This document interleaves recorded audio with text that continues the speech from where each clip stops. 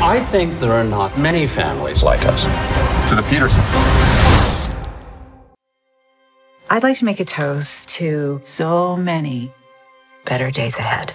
Every day is going to be an adventure. So always stop and think.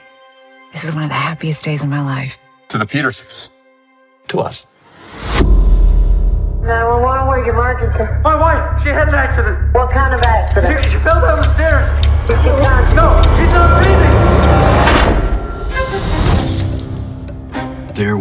35 cuts and bruises and seven deep lacerations to the scalp. Someone holding something caused the impact to make these wounds. Make any adjustments you see fit. It's a witch hunt.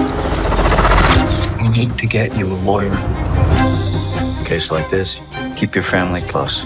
You'll need them on your side. We have no murder weapon, but we've found countless images on his computer.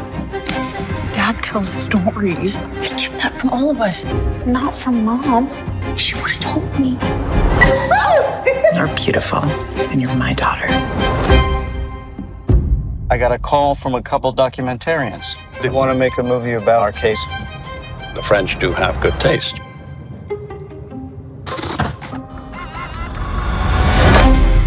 The fact of the matter is, she had some wine and fell. You just wander through life, going to the gym and yelling at the dogs and spending my money. You took the life of the best thing you ever had. I haven't even told you half of what we know about Germany. It was 25 years ago and nothing happened. You know, there wasn't even any blood.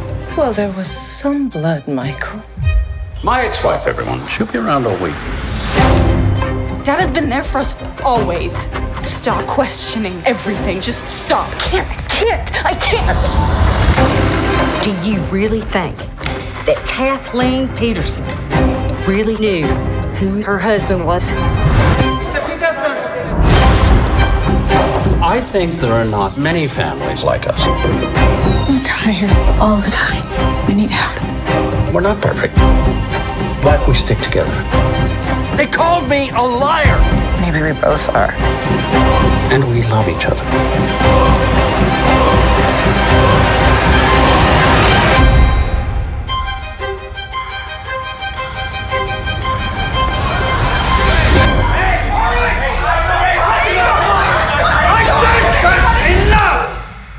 The Petersons are crazy.